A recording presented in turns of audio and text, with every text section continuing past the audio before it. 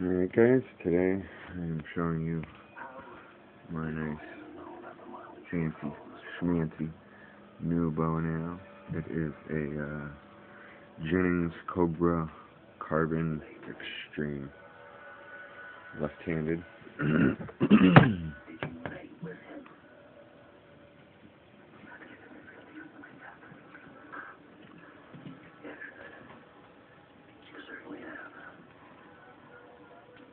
I have not shot this bow yet.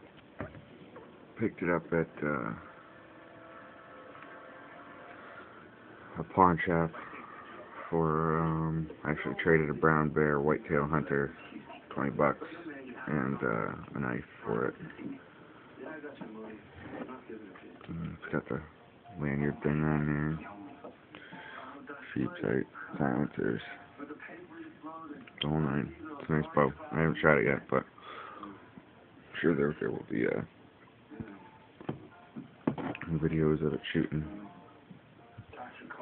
But this is a very nice bow for uh, 75 bucks. Got the fiber optic uh, tips on the end. The adjustable ARS with the uh, offsets on it, as does the um, back of the um, the sight system that can move as well. Not quite sure what that orange thing is for.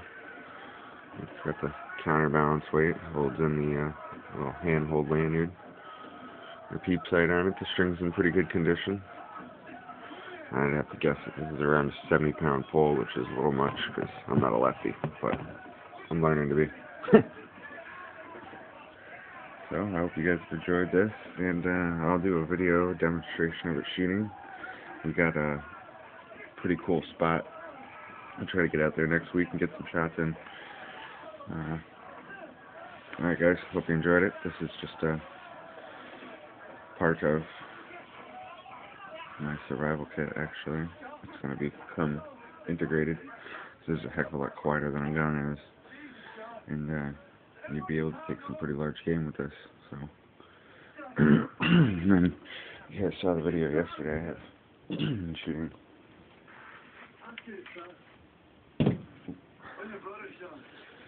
I'm shooting my homemade bow. Homemade longbow, and I took it and wrapped the handle and put a little.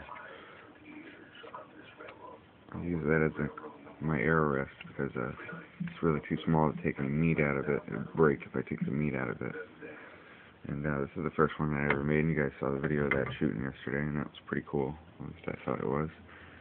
Uh, shot pretty far, a good 40, 50 feet. More than that, actually, probably 40, 50 yards. Um, 30, 40 yards, probably. I can't really accurately judge the distance that it was shot. But, um, I mean, this is a two-day project to kill something, maybe if you do it right. And uh, this is a a damn better word. as long as it's sighted in for you, you should have no problems with it. But from my readings and understanding on this bow, this thing is a beast, and uh, puts its work in. It uh, we'll find out when I set it in next week. Next week I'll go out and get some arrows and well. Uh, Go inside it in, shoot it. Alright guys, hope you enjoyed it.